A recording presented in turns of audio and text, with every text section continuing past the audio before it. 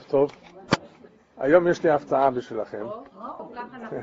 כן, נושא קצת יותר עמוק, יותר על פי הקבלה. אבל הוא גם שייך לסדרה שהתחלנו לפני כמה חודשים על המוסריות. הוא נושא חשוב מאוד, מכיוון שמי שמתבונן במה שקורה היום בעולם, אני בטוח שיראה בלבול אחד גדול. בלבול מדוע בלבול? כי ישנם כל מיני מאבקים, לא רק בין דאעש לעולם הנוצרי, לא רק בין הערבים עצמם, אלא כמעט בכל מקום, גם פה בין הדמוקרטים והרפובליקנים. ולצערנו גם במשפחות, בבתים, יש כל מיני מאבקים, מלחמות, מה קורה? אז מי שעוד לא שמע, יש לי הרצאה באינטרנט שנקראת שורש המלחמות. מדוע ישנן מלחמות. זה גם בעברית וגם באנגלית, אבל באינטרנט זה נמצא כעת באנגלית. The root of war. וחלק מהמושגים שדיברנו אז באותה הרצאה, אני קצת אחזור עליהם, כי הם גם קשורים לנושא של הערב. הנושא של הערב, קראתי לו בשם כוחות האור והחושך. ואתם תבינו בהמשך מדוע זה נקרא ככה, אור וחושך. אז מדוע יש בלגן כזה שלם? אז בואו נתחיל מהמדינה הזאת. יש רפובליקאים ויש דמוקרטים. זה הכל, או שישנם הבדלים נוספים? ישנם? לא, לא, אני מתכוון במפלגות. אה? ישנם רפובליקנים ליברליים ודמוקרטים שמרנים. נכון? מי שקורא... גם בתוכם יש הבדלים. כן? כן. אז יש פה בלגן שלם, ואנחנו רוצים קצת להבין מדוע זה מושך לכיוון הזה, וזה מושך לכיוון ההפוך? מדוע זה קורה? כן. כל אחד, אני בטוח, היה רוצה להיות או שייך לנבחרת המנצחת. אבל האם אפשר לדעת מראש מי ינצח? נכון? כל אחד טוען שהאמת איתו. כל אחד טוען שהדרך שלו היא הנכונה. שימו לב מה קורה בכנסת. כל אחד מאשים את השני שהוא לא יודע, שיסתלק. נכון? הוא נכשל, אני יודע יותר טוב ממנו. נכון? טוב, אז באמת אנחנו רוצים לדעת אם יש בכלל אפשרות כזאת לדעת מי הנבחרת המנצחת. אז לנו יש מסורת, בקבלה הדבר מבואר יותר בהרחבה, שכשהקדוש ברוך הוא ברא את העולם, הוא ברא את העולם עם תוכנית, הכל עם דיזיין. ואפשר להסתכל מסביב, יש דיזיין לכל, הכל כל כך יפה, הרמוניה, צבעים, סימטרי, נכון? יש פה איזו תוכנית. אבל מה שמעניין בתוכנית הזאת, שאם קצת נחשוב על התוכנית, אנחנו נשים לב שלפחות חלק גדול מהתוכנית כולל בתוכו זוגות. שתי ידיים, נכון? שתי רגליים, שתי עיניים, אוזניים, נחיריים, נכון? ברוך השם יש רק פה אחד, אוי ואבוי, היה יותר מזה. כן, אבל רואים זוגות. ולא רק זוגות באדם עצמו, אלא גם זוגות בבריאה, יום ולילה. יש זכר ונקבה. ובשדה האלקטרומגנטי יש גם כן כוחות פלוס ומינוס, בדיוק, נכון, נכון. אז יש כל מיני צדדים, יש כל מיני כיוונים. בקבלה הדבר הוא הרבה יותר פשוט מזה. יש ימין ויש שמאל, זה הכל, ועוד מעט תבינו איך זה. אבל אם נתבונן בבריאה, זה דבר מאוד מאוד מעניין. שיש pairs, מה שנקרא באנגלית pairs, זוגות. יש גם קדושה וגם טומאה, נכון? דבר והיפוכו. כן. אבל בקבלה הדבר מבואר כימין ושמאל, או כנכון ולא נכון, או כאור וחושך. הבנתם? אז זה מספיק לנו, כי זה יסביר לנו קצת מדוע זה כך, מדוע יש כזה וכזה, דבר והיפוכו, מדוע יש בכלל זוגות. שמעתם בטח על הספירות. עשר ספירות כן. בקבלה. הספירות זה הנהגות של הבורא עם העולם הזה. הקדוש ברוך הוא מנהיג את העולם הזה דרך כל מיני הנהגות. מה זה? כן. יש עשר ספירות.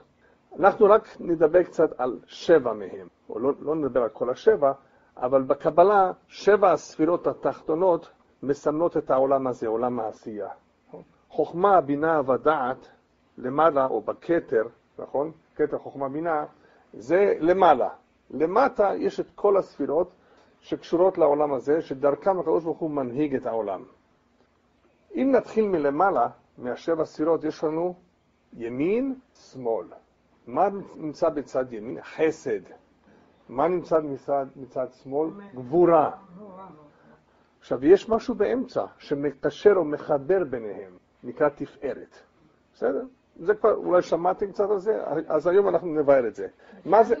מה זה? נכון, טוב מאוד. אז מה זה חסד? חסד זה פשוט מאוד, אלה שהם דוברי עברית, הם מבינים את הרעיון, את המושג הזה, זה הנתינה. זה הנתינה האינסופית. יש פה השפעה של הבורא לעולם הזה, שנקראת חסד. חסד עוד נגיע לזה, נכון? יופי. כן, נגיע לזה. אז חסד נמצא מצד ימין, חסד נמצא בצד ימין, ומה נמצא בצד שמאל? גבורה. מה זה גבורה? אם החסד משפיע וזורם, אז מה התפקיד של הגבורה? לעצור, להגביל מידת הדין. יש פה מידת הרחמים, דין, צדק, justice, נכון? להגביל את זה.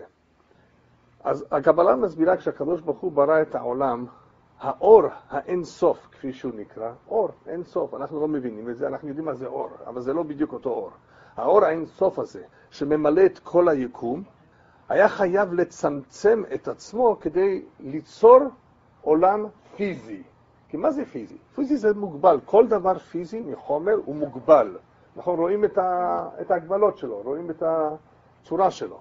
אז כדי ליצור עולם כזה, הקדוש ברוך הוא רצה ליצור, לברוא עולם כזה, עולם פיזי מחומר, הוא היה צריך לצמצם את האור שלו, נכון? כדי שיהיה מקום כזה, כדי ליצור מצב כזה, שיהיה עולם פיזי.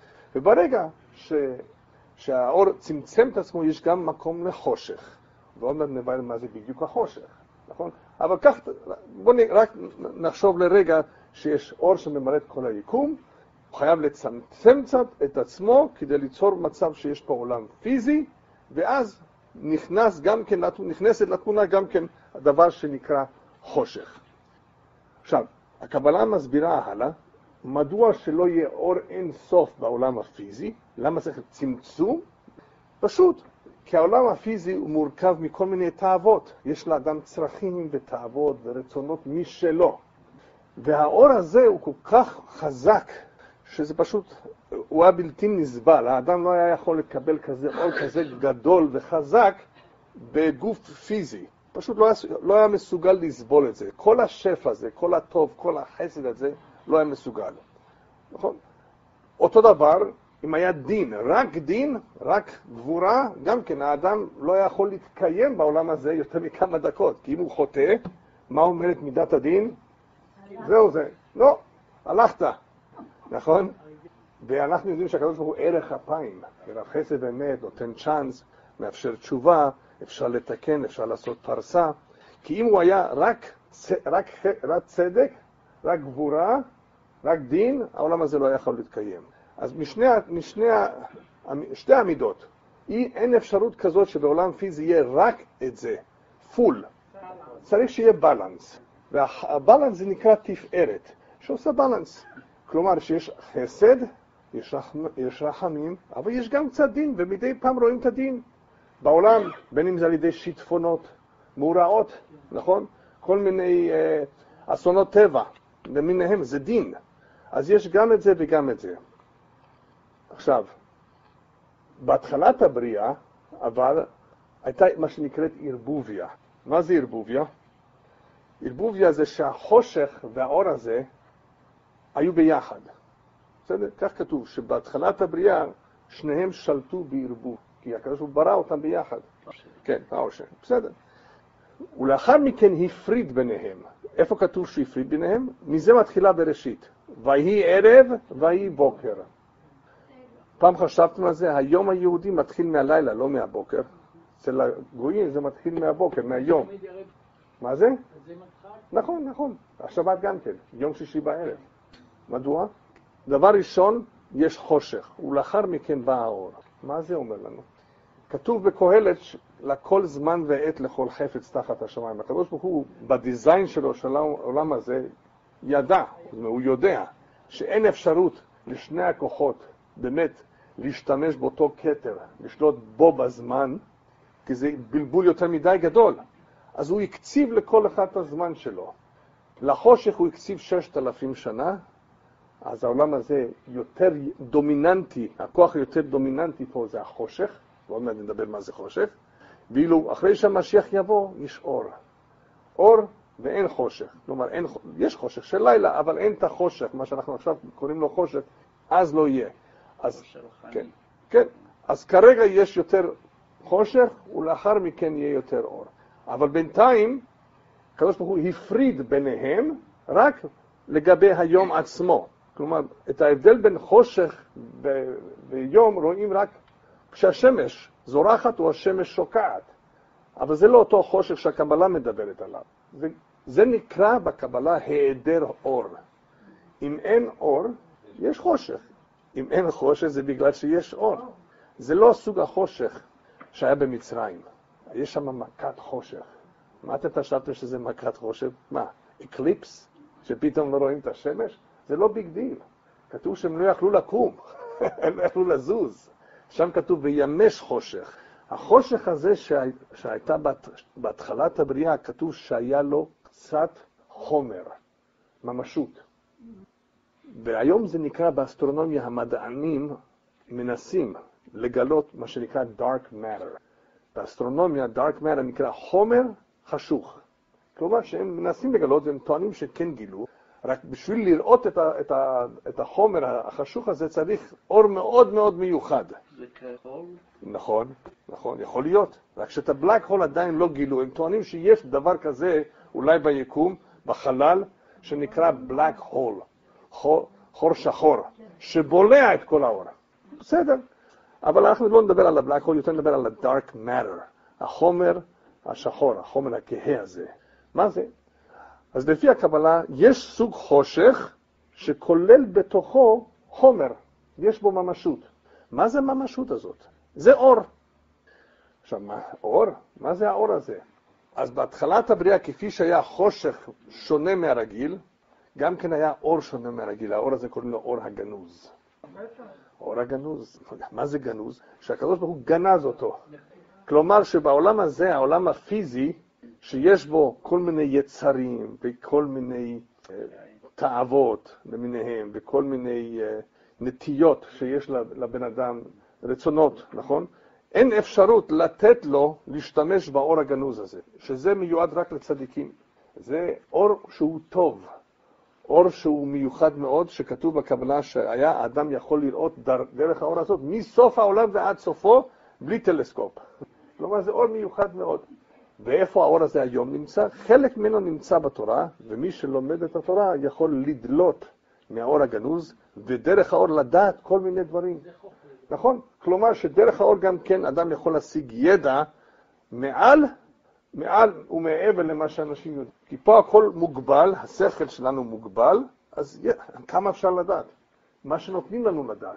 משום מה, רק במאה ה-50 שנים האחרונות מלמעלה נתנו לנו, לבני האדם, לאנושות, לדעת דברים מסוימים, נכון?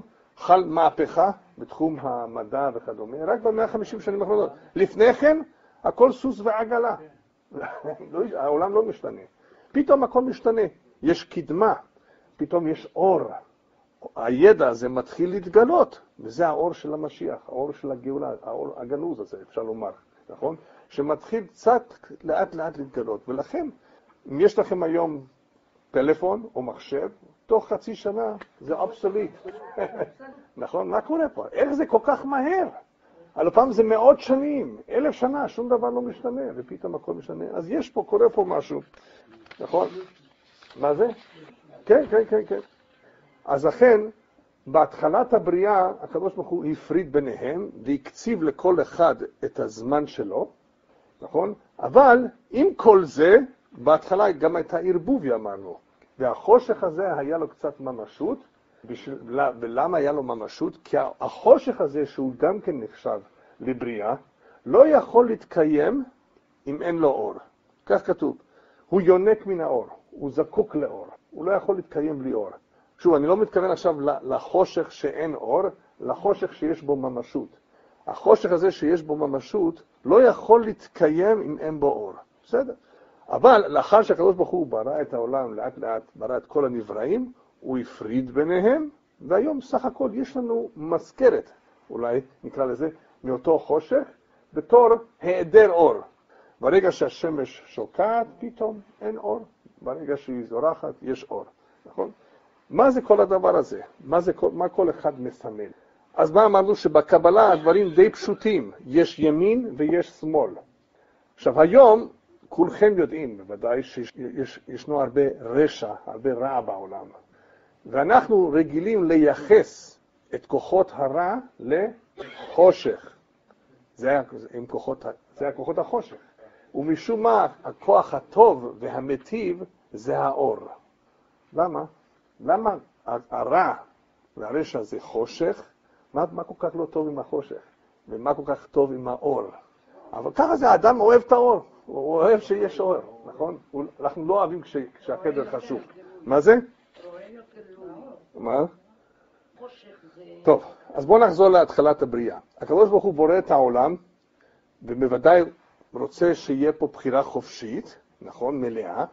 נכון? וכדי לאפשר בחירה חופשית, הוא מסתיר את עצמו. אנשים שואלים אותי, מדענים, תוכיח לי שיש אלוקים. אמרתי לו, זה חלק מהבעיה, דבר ראשון שתדע לך, שהוא מסתיר את עצמו, נכון? אתה צריך לבד לנסות לגלות את זה, כמו שיש, אתם יודעים, אתם מכירים את המשחק מחבואים, באנגלית זה נקרא hide and see. זה ממש ככה. ואני בכוונה עשיתי, בראתי את זה כך, בצורה כזאת, שאתה תגלה אותי. החושך הזה שבראתי, הוא גם מסתיר אותי. את האור הגדול הזה, יש, לו, יש לי פה כמה כוונות, אחד מהן זה להסתיר אותי. אתה תראה קצת את ההנהגות שלי, אבל אתה תראה פה כל מיני סתירות. אתה תראה אדם רשע מרושע, שהוא המיליונר הכי גדול, עם כל הכסף. ואתה תראה צדיק, מסכן, זה סתירה, זה doesn't make sense. אתה תראה את העם הנבחר, העם היהודי, שעושה רצונו של האלוקים, גולה מארצו, נרדפים, נטבחים, נכון בשואה? מה, מה קורה פה? אתה תראה הרבה סתירות. למעשה, מה זה כל הדבר הזה? זה הנהגות של הבורא, ושלא תתבלבל, תזכור שגם זה וגם זה, דבר והיפוכו, זה הכל מלמעלה. מי שלומד קבלה, אז תמיד מזהירים אותו לא להתבלבל ולחשוב שישנו יותר מכוח אחד למעלה. כי האדם עלול להתבלבל. מה, על, מה, על מה דיברנו? על מה התחלנו לדבר? שיש פה איזה בלבול. וההודים לכן הגיעו למסקנה שיש מיליון אלילים. יש את הכוח הזה והכוח הזה והכוח הזה. כן, ככה הגיעו למסקנה כזאת, כי הם רואים את זה, רואים את זה, רואים את זה. מה קורה פה? אבל למעשה בקבלה מבואר הדבר ברור מאוד, שלא נטעה, זה הכל מאותו מקור, אותו כתובת. רק מה, משום מה הוא רצה שכך יהיה. ובעולם הפיזי הזה אין אפשרות לראות את הכל, מכמה סיבות. אחד מבגלל שהחושך הזה אמור גם להסתיר את הבורא, וגם הוא מסמל כוח נגדי. כמו שהתחלנו להסביר באלקטרומגנטיק, בשדה האלקטרומגנטי יש את שני הכוחות המנוגדים. אז זכר ונקבה, איש אישה, יום ולילה, זה הכל כוחות מנוגדים, איזה כנגדו, כל אחד עם התפקיד שלו. אבל על האור נאמר יצירה, ועל החושך נאמר בריאה. מה ההבדל? אה, בשבילכם אין הבדל גדול. יצירה, בריאה זה כמעט אותו דבר, בקבלה יש הבדל גדול מאוד. יצירה נאמר על האור ובריאה נאמר על החושך, כי לחושך אין ממשות מעצמו. אז לכן כתוב על זה בריאה, יש מאין. כשמייצרים דבר, יש לו substance, יש לו ממשות. אז האור יש לו ממשות. היום עדיין יש מחלוקת, תדעו לכם, במדע, ורק מי שקצת למד מדע מבין למה אני מתכוון. מה זה אור? האם זה particles או האם זה גלים? אה? אתה למדת את זה אולי קצת, נכון? כן, בפיזיקה, ב quantum physics במיוחד מדברים על זה. נכון? לא, למעשה זה גם זה וגם זה טוענים. זה גם גל, נכון? ככה אני חושב, זה חלקיקים קטנים, כן. עכשיו הלייזר. הלייזר, כן, נכון? כן. אז עכשיו, בסדר, אז ישנם את כל הכוחות האלה שהקדוש ברוך הוא רצה, אבל מה קולט אותם? מה יקלוט את האור הזה? צריך כלים לקלוט את האור. לא סתם יש אור, כלים זה, זה הגופות. הגוף קולט את כל האור. למה הגוף צריך לקלוט את האור? אה? כי בתוך הגוף של האדם ישנה נשמה מלמעלה, שגם היא מאור. אז האור הזה אמור להתחבר לאור מלמעלה. אז הגופות, הקדוש ברוך הוא ברא גופות בעולם לקבל את כל השפע הזה, את כל הטוב. נקרא לזה טוב, כל השפע, את כל הטוב, ואיך אפשר לגוף הזה, החשוך הזה, הפיזי, לקבל את האור? כי יש בו נשמה, שגם היא מאור. אז למעשה יש פה חיבור בין האדם לאלוקים דרך הנשמה שלו. הבעיה היא שבגוף הזה ישנן חלונות, והחלונות מלוכלכות. מישהו פה יודע what are the windows of the soul? מהם החלונות של העיניים? של הגוף? העיניים, נכון? שמעתם מה זה? The windows of the soul. החלונות של הנשמה הם העיניים. מה, מה נותן לנו העיניים? העיניים נותן לנו את ה-perception, את התפיסה, את ההשקפה, את, ה, את ההיבט אולי, הנכון או הלא נכון. אז תלוי אם העיניים מלוכלכות, מטושטש, הכל מטושטש, לא, נראה, לא נקבל את כל האור כמו שצריך. הבנתם? זה משהו פשוט. ככל שהחלון נקי, אז התמונה יותר ברורה, האור יותר חודר, ואז אדם יודע דברים מסוימים. ואז, אם באמת החלון מאוד נקי, יש לו את הפוטנציאל אפילו להתחבר לאור הגנוז הזה שאמרנו קודם. טוב, אז מה עושים עכשיו אם העיניים מלוכלכות? יהיה קשה להבחין בין, בין טוב לרע, כי הכל חשוך, הכל מטושטש. אז איך בכל זאת יודעים? אז אמרנו שהחושך הזה, יש בו בהתחלה קצת אור. הוא חייב שיהיה לו קצת אור, כי בלי אור הוא לא יכול להתקיים. הטומאה, כתוב, יונקת מהקדושה. כשהיהודי נפטר והנשמה עוזבת אותו, היא נטמאת, הגוף, הגופה נטמאת. מי שנוגע בגופה, טמא. מה, מה, מה קרה פה? כי ברגע שהנשמה שהייתה בקדושה עזבה את הגוף, נשארו בתוך הגוף הזה ניצוצות, ככה קוראים לזה בקבלה, כל מיני ניצוצות של אור של הקדושה, ולכן הטומאה רוצה את זה, כי מזה היא חיה. ברגע שאם ניקח או נוציא מהחושך, מהטומאה, את כל הקדושה, היא, היא, היא פשוט, היא שובקת חיים. אין לה, אין לה, אין לה, אין לה, מה זה? נעלמת, נכון, כן. אז לכן, בכל, בכל חושך חייב להיות שיהיה קצת אור. אולי שמעתם, כדי להבין את זה קצת יותר טוב, אולי שמעתם משהו דומה לזה. השקר אין לו רגליים, שמעתם? אז מת, למה, מדוע, מדוע אנשים מאמינים לשקר? אז מדוע, מדוע, מאמינים, מדוע, אם אין לו רגליים, מה הכוונה אין לו רגליים? הוא לא מתקיים. הוא, הוא בסוף מתגלה, בסוף נופל, מתמוטט. נעלם. אז מדוע בכל זאת יש שקר שמאריך ימים? יש הרבה שקרים בעולם שפשוט יש להם אריכות ימים. כי יש בו קצת אמת. אם הבן אדם משקר לכם, אבל חלק ממה שהוא אומר לכם זה אמת, יהיה לכם יותר קשה לגלות שזה, שהוא משקר. הבנתם? כן. אם זה הכל שקר, בלוף, אחד גדול, אתם תעלו על זה. בסוף זה מתגלה. כן. כן. ברגע שמוסיפים קצת אמת פה ושם, זה הרבה יותר קשה לעלות על זה. מה זה? half כן. זהו. אז לכן, החושך, כדי שהוא יתקיים, צריך שיהיה בו קצת אור. אם האור עוזב אותו, או אין בו אור, אז בכלל הוא, הוא מפסיק להתקיים. האור שיש לנו היום, האור שיש לנו היום זה אור פיזי, זה אור של השמש. זה לא האור שדיברנו עליו קודם, אור הגנוז, שמסמל יותר את האמת ומסמל את השפע. זה אור שאנחנו מזהים כפשוט כדבר שמאפשר לנו לראות. כשהקבלה מדברת אבל על אור, היא מתכוונת לאור האינסוף, לשפע שיורד או זורם כל הזמן לעולם הזה, שלפעמים הוא נעצר. מה הכוונה נעצר? אז דיברנו על זה, כשעל הנושא, דיברנו על הנושא של עין הרע. מישהו אולי זוכר פה? עין, מה זה עין הרע? אדם יכול לתת למישהו עין הרע? יכול לקלקל לו? מה זה? כן, אבל איך זה עובד?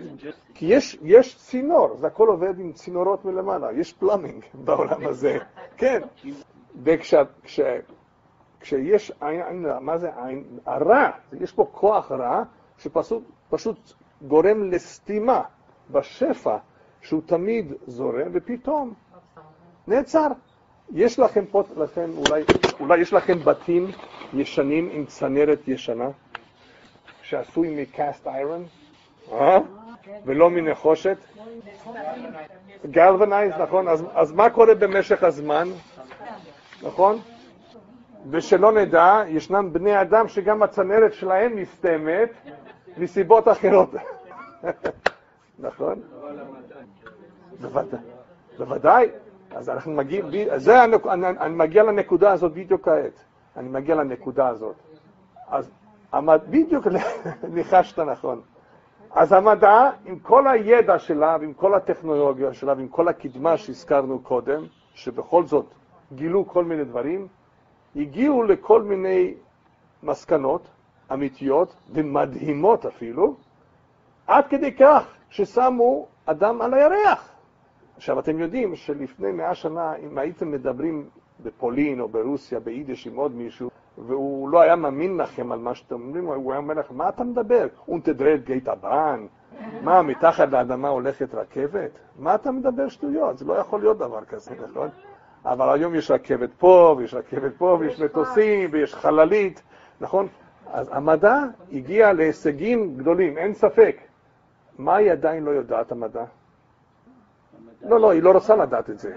זה היא לא רוצה לדעת, חוץ מבשוויץ יש שם איזה משהו, יש God particle שמנסים למצוא, חוץ משוויץ. מה? אבל זה גם, זה גם לא כל כך מעניין אותם, הם מפחדים מזה, לדעת איך התחיל העולם. עם כל הידע שלהם, את האדם הם לא מבינים. האדם, זה בלבול אחד גדול פה. מה הולך פה באדם, בשכל שלו, ביכולת שלו, בכל הכוחות המנוגדים שיש בו? עד כמה שהפסיכולוגים מנסים והפסיכיאטרים להבין, וקצת, קצת יודעים, הם לא מבינים. לא, הם קצת נכנסים לזה, אבל למה לעולם הם לא יבינו? למה יש, כי, שוב, אני חוזר לנקודה הראשונה, לשאלה שלי, מדוע יש פה כל כך הרבה בלבול? כי כל זמן שהמדע לא, לא יודעת שיש גם נשמה, ויש גם יצר הרע, וכל הדברים האלה, המושגים הרוחניים, היא לעולם לא תבין מאיפ, מה המקור של הקונפליקטים פה. זה מולקולות פה? מדוע הוא כזה בלאגניסט? מדוע הוא כל כך... מה, מה, מה, מה קורה פה?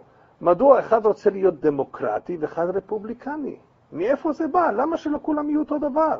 שמה צריך ליכוד ומפא"י וכל הדברים האלה? נכון? למה לא? למה שלא יחשיבו כולם אותו דבר? את הדתיים אני קצת מבין, טוב, הם דתיים, אבל אני עכשיו מתכוון לחילונים. וגם ביניהם יש, כן, כפילוגים, כן. מה זה? כן. מה זה? כן. כן. כן. טוב, אז לכן, מכיוון שהמדע לא, לא יודעת על זה, אז לכן היא לעולם לא תוכל להבין מל... את... איזה מין מלחמה יש פה, בין איזה כוחות בכלל יש פה. אבל אנחנו יודעים כבר, כפי שהגבלה מסביר לנו, שיש פה ימין ושמאל, לא רק בבריאה, אלא גם בגוף האדם. בגוף האדם, כפי שאמרתי לכם, כמו ש... יש זוגות, ועוד מעט נדבר על האצבעות, כי באצבעות יש עשר משום מה ולא שתיים, אוקיי? בינתיים אנחנו ראינו זוגות. אז גם בבריאה, גם בגוף האדם, יש פה כאילו תוכנית, כל מיני כוחות מנוגדים, וצריך להבין מדוע. אז חלק כבר הסברנו, שצריך את שניהם, לאפשר גם בחירה חופשית, נכון? ומכל מיני סיבות נוספות שהקדוש ברוך הוא רוצה שיהיה גם כן האור וגם יהיה החושך. בסדר. עכשיו, הבעיה היא שברגע שיש גם חושך וגם אור, זה מפריע. בסופו של דבר זה מפריע. אז מה עושים? מה עושים? איך אפשר לגרש את החושך? נו, מה עושים? מדליקים אור, חזק מאוד.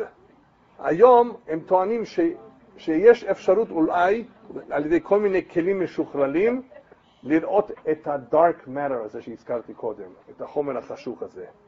זה לא אור רגיל. אם, אם תשים אור רגיל על זה, לא, לא תוכל לראות כלום. יש כל מיני גלים. נכון, יש כל מיני דרכים ואמצעים כדי לראות דברים בחושך, נכון, בחשיכה. אז גם כן יש דרך, אם פשוט, הם, אולי אין להם עדיין את הכלים, אבל יום אחד יהיה להם את הכלים גם לראות את החומר החשוב הזה. אז בעולם, בעולם הרוחני... ש... כרגע דיברתי רק על חומר פיזי, עכשיו אני עובר לרוחני. כי מה זה החושך הזה והאור? למעשה זה מושגים גם רוחניים. אז אם יש חושך, כדי שאנחנו נגרש את החושך, הסברנו קודם שהחושך היום הוא סך הכל היעדר של האור. כן, זה לא, זה לא דבר, הוא לא אמיתי, אין בו כלום. היום זה סך הכל היעדר אור. יופי, אז מה צריך לעשות? תדליק את האור, תדליק את החשמל. נכון? נכון. אז אם, אם אפשר לשים אור חזק מאוד על החושך, מה זה יעשה לחושך? החושך בורח. ברגע שמדליקים אור, החושך עוזב, יוצא, בורח. אז, מה זה? נכון, נכון, נכון. אז לכן, זה מה שצריך לעשות. צריך לחפש, למצוא את הדרך איך לגרש את החושך. אוקיי, טוב, אבל לפני שעושים את זה ולפני שיודעים איך לעשות את זה, צריך לקחת דוגמה, צריך, אני רוצה פה להזכיר דוגמה אחת, שמי שעדיין לא יודע מה זה אור וחושך, ניקח דוגמה אחת מהחיים, שכל אחד, אחד מבין את זה, ויהיה לנו יותר קל לדעת איך להתגבר, אם כן, על החושך. מה דעתכם על שמחה ועצב? נכון? דבר והיפוכו? איזה יותר טוב? וואו, כולם מסכימים, גם הערבים מסכימים, גם היפנים, כולם, כל העולם מסכים. מה, אין בזה שום מחלוקת, ששמחה זה הדבר המועדף, הדבר הטוב. כל אחד רוצה להיות שמח, ועצב זה לא טוב. מה זה? כן. כן. טוב, נמשיך הלאה. אז הבנתם, אז יש, יש פה כל מיני כוחות מנוגדים, ובכדי שאנחנו נוכל להבחין ביניהם, נכון? יהיה לנו קשה, כי אמרנו יש פה חושך שמסתיר ומפריע, מטשטש, מבלבל, נכון? לא נותן לנו לראות את כל האמת, את כל הטוב, ולכן אנשים בוחרים גם בזה, גם בזה, לא, כבר לא יודעים מה טוב להם. מזה נובע כל הבעיות, בין אם זה בעיה של אוכל שאנשים לא אוכלים את הדבר הבריא לאכול, בין אם זה המעשים, בני האדם עושים כל מיני מעשים שלדעתם, או לטעם שלהם, זה טוב, אבל אולי זה לא טוב, אבל הם לא יודעים, מבולבלים, או הם טוענים שכל אחד והאמת שלו, אבל זה בלתי אפשרי. אין דבר כזה שכל אחד והאמת שלו, יש רק אמת אחת, אבל, אבל יש פה בלבול, חשוך, לא יודעים. זה מושך לפה, זה מושך לפה, זה, הגוף רוצה את זה, אבל הנשמה רוצה משהו אחר, כי הנשמה זה האור. אבל אם החלון מטושטש, אז, אז אדם לא רואה את האור. טוב, אז יש פה בעיה. עכשיו, מה עושים? אז צריך קודם כל להבין מה המקור של כל החושך הזה, או איפה הוא נמצא, מה הוא מסמל, ומה מוטל עלינו לעשות. אז אני רק הקדמתי לכם שמהספירות רואים תוכנית. יש חסד, יש גבורה, ואם השם רוצה שיהיה חסד וגבורה, שיהיה אור, כנראה שאת שניהם צריכים, נכון? אבל רק רגע, אפשר, אפשר שיהיה שניהם? כן, אם יש בלנס, תפארת, נכון? אוקיי. אז בואו בוא אני עכשיו אגלה לכם דבר שאף פעם לא שמעתם עליו, אולי חוץ מכמה שלמדו אסטרונומיה. זה דבר מאוד נפלא. עכשיו, אני, אני רק רוצה לומר, להקדים לכם שזאת תיאוריה שלי, זה לא כתוב בשום ספר, אבל אם תשאלו את המדענים הכי גדולים בעולם, גם לא תקבלו תשובה. אז לפחות התיאוריה שלי שווה משהו. זה תיאוריה. אתם יודעים, אני אגיד לכם את זה גם באנגלית וגם בעברית. יש מה שנקרא אורביט ויש רוטיישן. מה זה אורביט ומה זה רוטיישן? כל כדור, בין אם זה צדק, מאדים, כדור הארץ, נכון? יש לו רוטיישן על הציר שלו, בסדר? כל 24 שעות, ויש לו גם כן אורביט מסביב לשמש, פעם בשנה, פעם 365 ימים. לא, לא, לא, לא, לא, לא, לא, לא, לא. לא לכולם 24 שעות, רק לכדור הארץ ולמאדים, פחות או יותר, טיפה, כן, קצת שונה מכדור הארץ. עכשיו, Jupiter ו Saturn, Uranus ו Neptune, הם מהירים מאוד ב rotation שלהם. תוך כמה שעות, יום לילה. מעניין, בסדר. Venus, נוגה וכוכב, Mercury, הם איטיים מאוד, מאוד איטיים. לוקח כמעט שנה עד שהוא מסתובב על הציר של נוגה. טוב, זה לא מעניין, אותו, לא מעניין אותנו כעת מדוע הוא איטי. מה שהכי משונה פה, שאין הסבר, גם לא מדעי, זה מדוע וינס מסתובב בכיוון ההפוך. כל העולם כולו, כולל השמש, כולל אסטרואידים, כולל, חוץ מיורנס אולי, כולם מסתובבים counter clockwise, אתם יודעים מה זה counter clockwise? לא כפי, שהשעון, בכיוון. הפוך. מצד שמאל לצד ימין. או, רק רגע, אמרתי, הזכרתי פה משהו מוכר לכם? אמרתי שמאל ימין? או, נכון? תשימו לב, יש פה כיוון. הם הולכים משמאל ימינה. לא רק בסיבוב שלהם, אלא גם בהיקף. כשהם מקיפים את השמש גם כאותו כיוון, משמאל לימין, counter clockwise. וינס היחידי, היחידי, clockwise, מימין לשמאל. הבנתם? לא, לא כמו כדור הארץ. כדור הארץ וכולם, מאדים, צדק, כולם, counter clockwise, משמאל לימין. מה זה? הוא הולך שמאלה, אוקיי? הוא הולך שמאלה, והם הולכים הפוך מכיוון השעון, הם הולכים ימינה. בסדר? רק וינס הולך, נכון? מי שנמצא, אם מישהו יכול להיות בקוטב הצפוני והוא יסתכל, למטה הוא יוכל לראות את הסיבוב הזה. לנו קשה לדמיין את זה כאן, בסדר? אם יהיה לכם אפשרות באינטרנט, תוכלו לצפות בזה. טוב, הבנתם את הרעיון פה? אז רק, רק נוגה, וינס, מסתובב הפוך. השאלה היא מדוע. אני מבטיח לכם, בלי נדר, אין מדען אחד בעולם שייתן לכם הסבר שבאמת יכול להסביר את התופעה הזאת. הוא יגיד לכם כל מיני דברים, כן, בהתחלה, בהתחלה פשוט היה איזו התנגשות של כוכבים, והוא קיבל מכה. מה זה? האמת היא שזה כן. כן, בסדר. הכל, הכל. טוב, בסדר. נכון, טוב, לא משנה, כן. כן, אבל רק וינס. אז מה זה? נו, אז את למדת טניה. אז בטח בספר התניא ראית מושג קבליסטי שנקרא קליפת נוג. זוכרת? יש לה זיכרון טוב. ברוך השם.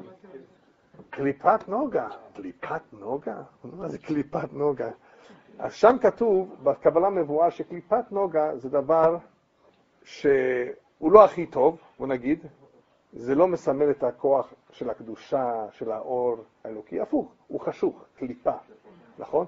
אבל צריך אותו, יש בו קצת טוב. צריך אותו. עוד מעט תבינו איך זה שאנחנו יודעים שצריך אותו. מה זה מסמל? זה מסמל את כל התאוות, את כל הרצונות של האדם. אדם צריך לישון ולאכול, הוא צריך את זה. האם זה טוב? רק אם, הוא, לא, אם, הוא, אם, הוא, אם הוא מגזים, אז זה לא טוב. נכון? אם הוא יודע את הבלנס ויש לו איזון טוב בחיים, או, זאת חלק מהשאלה. איך הוא יודע? אנחנו נגיע לזה, נכון? אבל כרגע אדם לא יודע.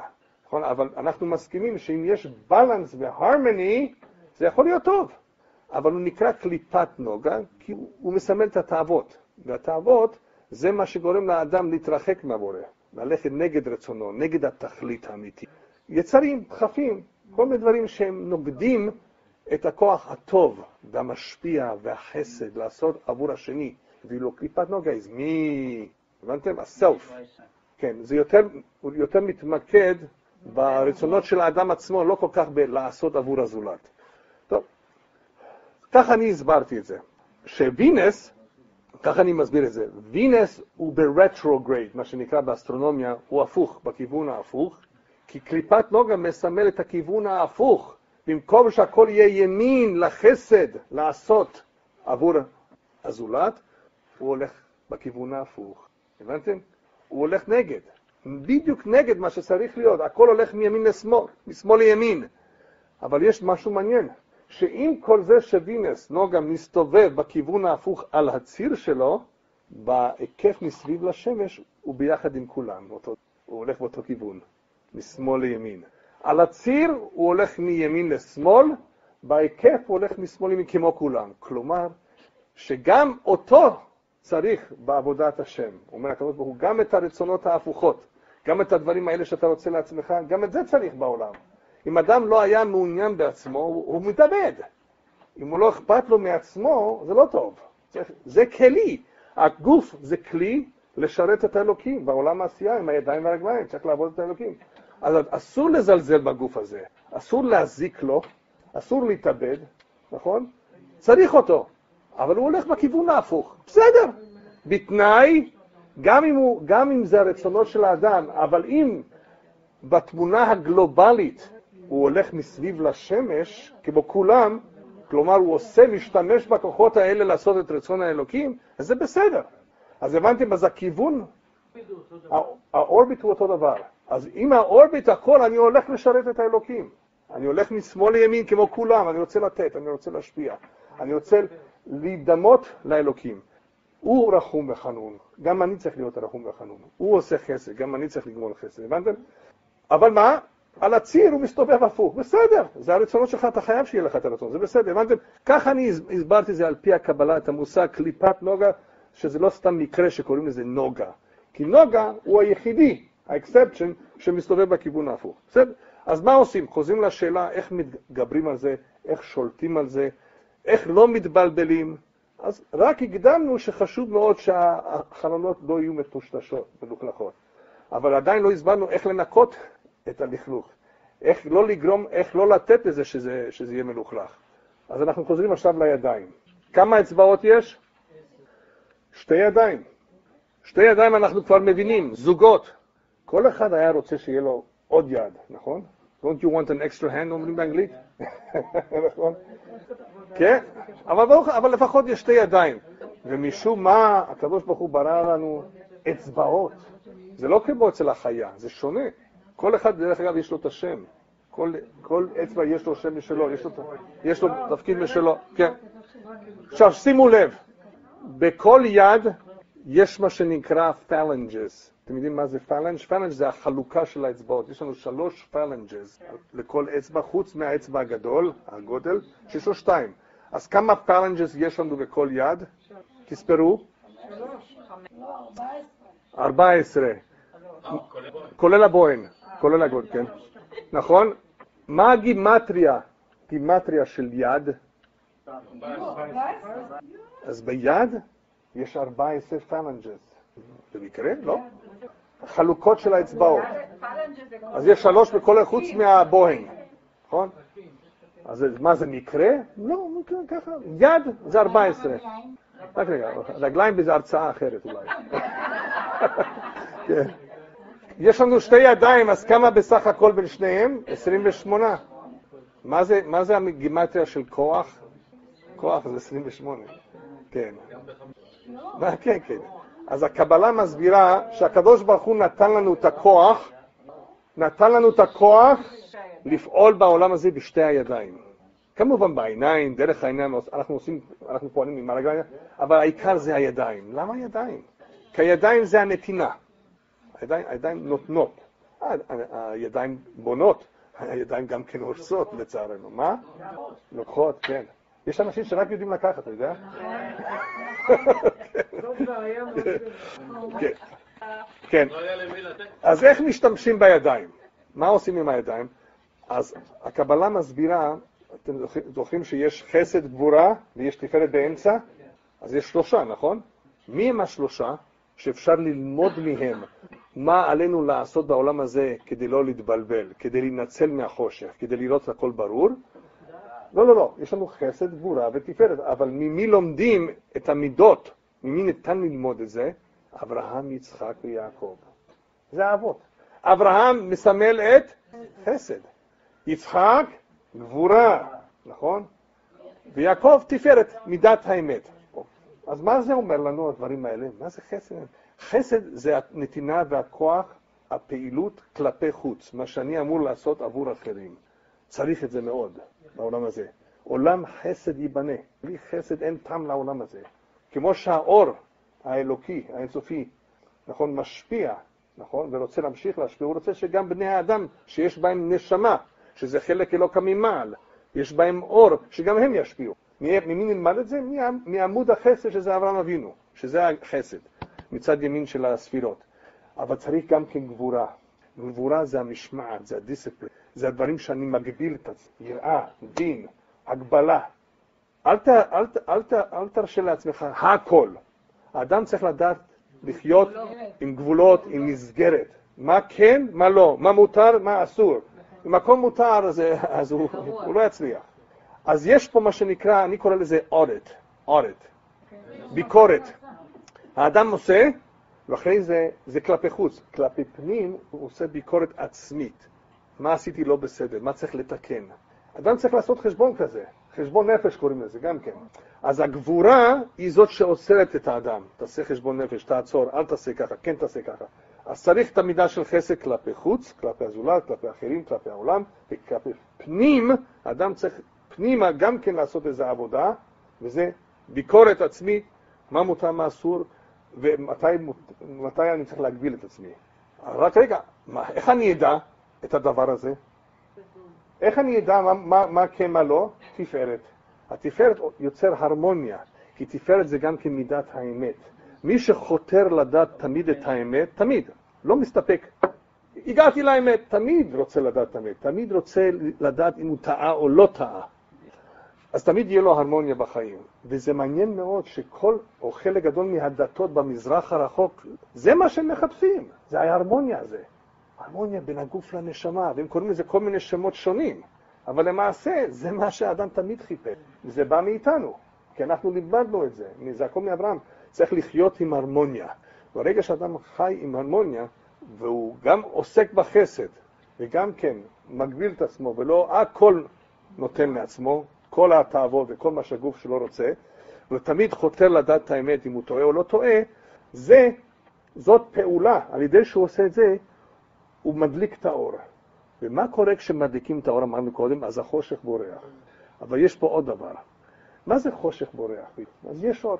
לא, זה יותר מזה. על פי הקבלה כתוב שבחושך, והזכרנו את זה קודם, ישנם, ישנו גם כן חומר, נכון? מה זה החומר הזה? ניצוצות של אור.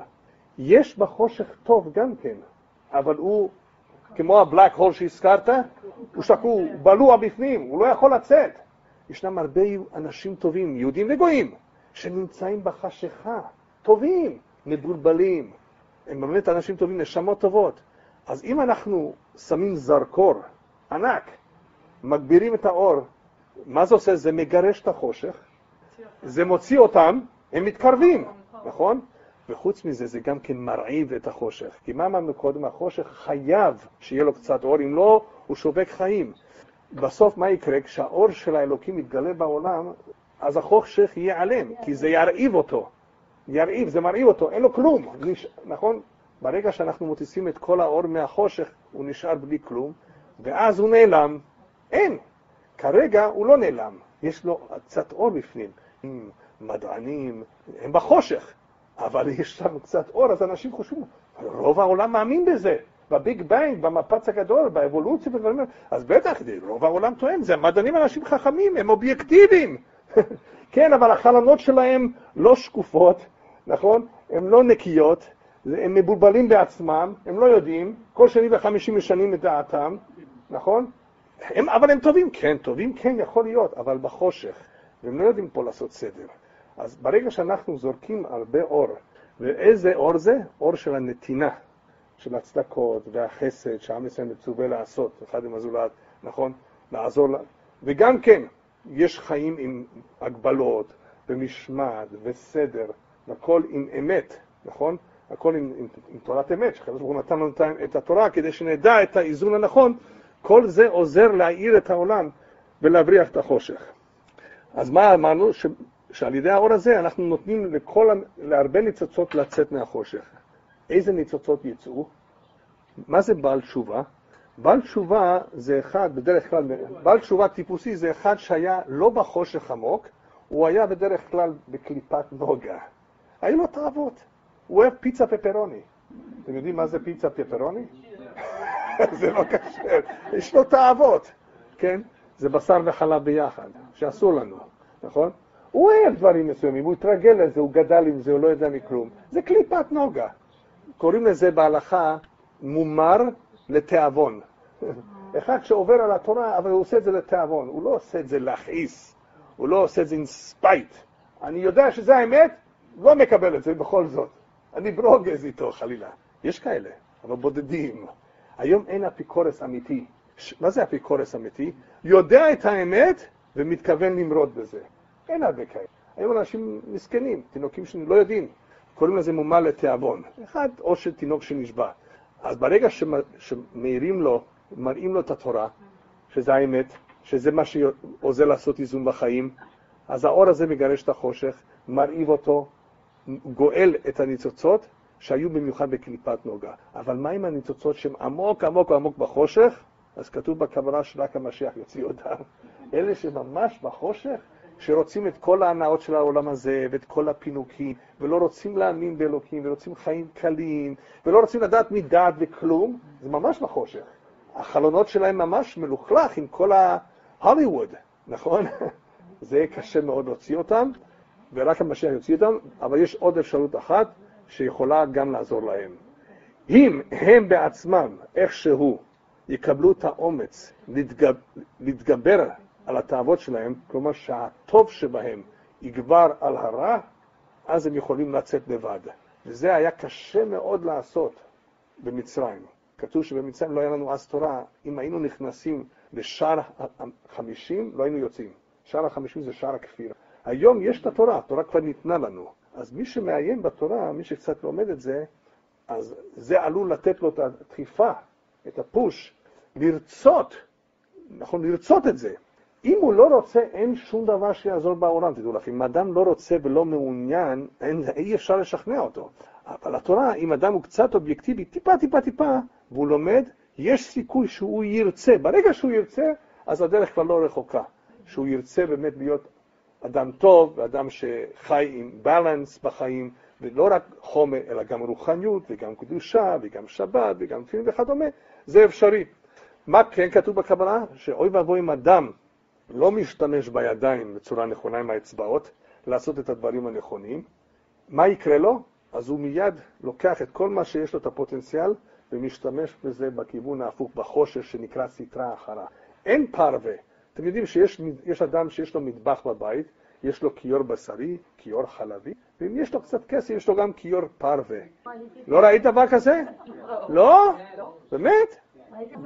לא ראית באי, מי שעושה לעצמו איילנד באמצע המטבח, לפעמים עושה בתוך האיילנד כיור.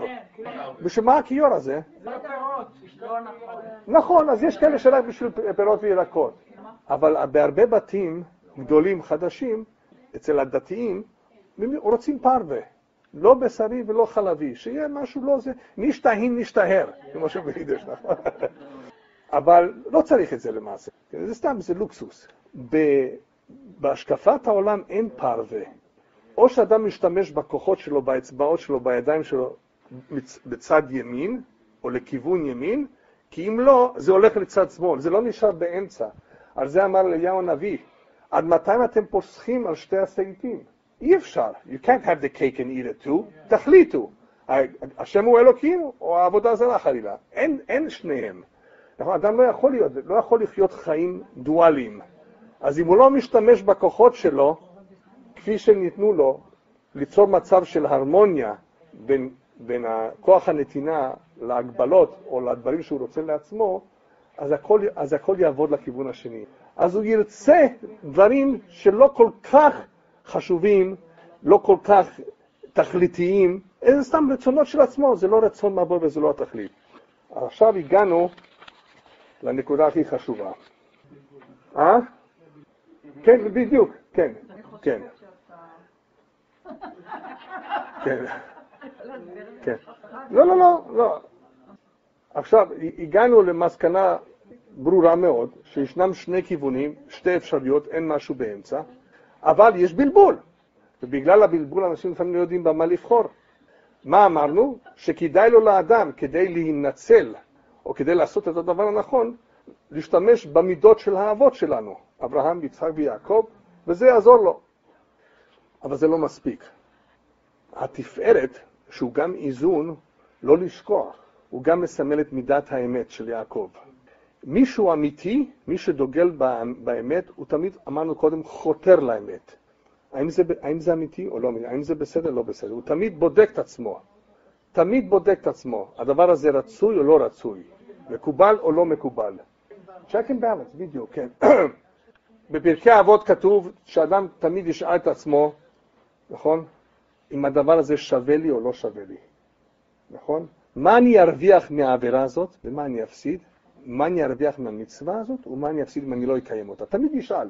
אם אנשים היו שואלים את עצמם, רק רגע, מה אני ארוויח אם אני אריב עם אשתי? מה אני אפסיד? אנשים לא שואלים את השאלה הזאת, לא עוצרים לרגע לשאול ולחשוב, אין מחשבה. אין מספיק מחשבה לפחות. וגם אם יש מחשבה, המחשבה הזאת, מה אמרנו? חשוכה. העיניים לא נותנים לו את הפרספצ'ן הנכון לראות את הדברים כמו שצריך להיות. אז חשוב מאוד שהכוח הזה שנקרא תפארת שעושה איזון בחיים, שהוא יחתור תמיד לדעת את האמת. תמיד רוצה לדעת את האמת. ואז, בעזרת השם, יגיע להרמוניה מסוימת בין הגוף לנשמה. איך הוא באמת יגיע להרמוניה? או, עכשיו הגענו לנקודה העיקרית. איך ידע אדם שהוא הגיע להרמוניה מסוימת?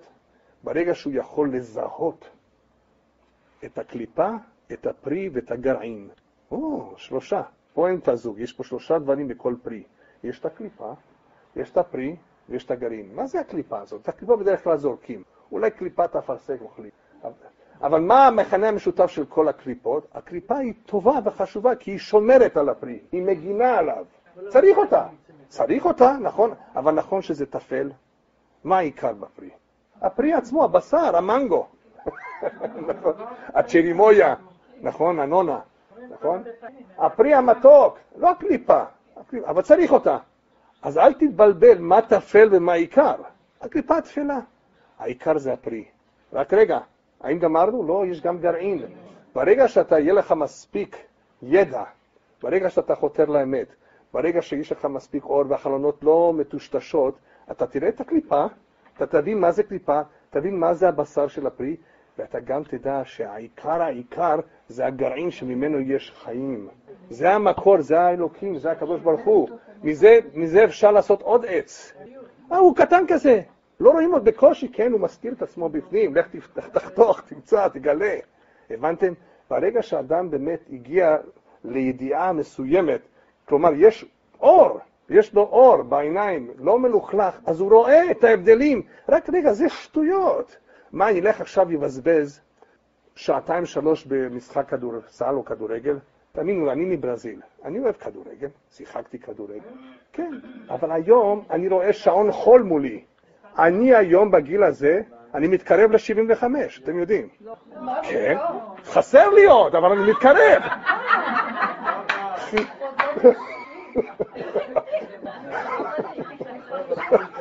נכון? מתקרבים.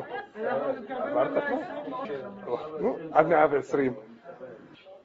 אני רואה שעון חול שהולך להיגמר. מה, אני אלך לבזבז שעתיים שלוש מזה על משחק כדורגל? ואני גם, גם למחוא כפיים על כל גול? נכון. אבל הכל זמן בעת לכל חפץ תחת השמיים, אמרנו את זה קודם? כן, קודם היה בסדר. היה לנו כוחות לשחק, לתת בעיטות, נכון? בכדור, לא באנשים, נכון?